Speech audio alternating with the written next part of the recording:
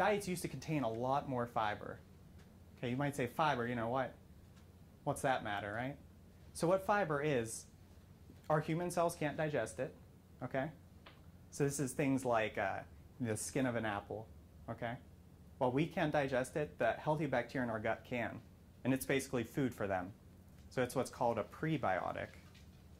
So prebiotic is food for probiotics, or healthy bacteria. Does that make sense? All right. So, you know, whenever we eat all these foods without the fiber in it, we're, we're essentially starving those healthy bacteria and actually feeding the bad bacteria. So our staple food sources are essentially grains nowadays. Before we get to that, I want to, I'll give you a little bit more idea about fiber. So we, we have apples here in the office for patients. Okay? So a whole apple has a decent amount of fiber in it. Okay? You got fiber in the skin, in the pulp, and in the core. Compare that then to like applesauce and apple juice.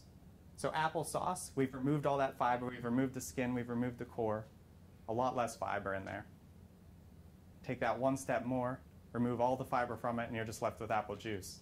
And you, you think about what are, what are most people consuming nowadays? The apple juice. So our staple food sources are grains, wheat, corn, rice. We've essentially we've had we have so much of these grains in our diet. 50% of the calories we eat come from these three plants. Not only that, but the majority of what we're eating is actually completely stripped of fiber.